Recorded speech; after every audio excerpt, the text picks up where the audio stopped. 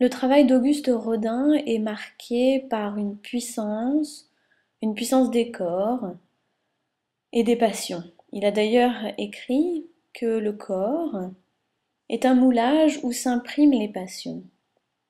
On peut en voir une belle illustration ici dans ce groupe des bourgeois de Calais, dédié à une sorte de légende selon laquelle euh, les bourgeois de la ville de Calais se sont sacrifiés pour le bien des autres habitants retenus en otage par les Anglais pendant la guerre de Cent Ans.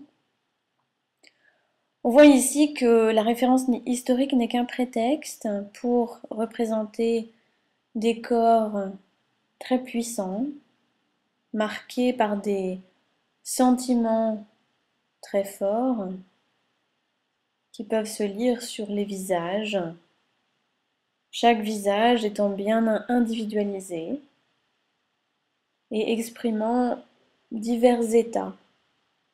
Et ces divers états peuvent d'ailleurs être retrouvés en chacun de nous. Nous pouvons exprimer tous ces états face à une épreuve.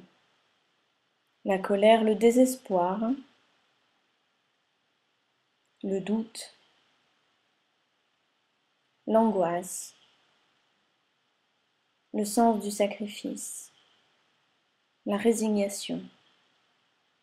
Et tous ces personnages appartenant à ce grand groupe des bourgeois de Calais illustrent finalement ce qui se joue en nous, ce qui se joue dans notre petit théâtre intérieur.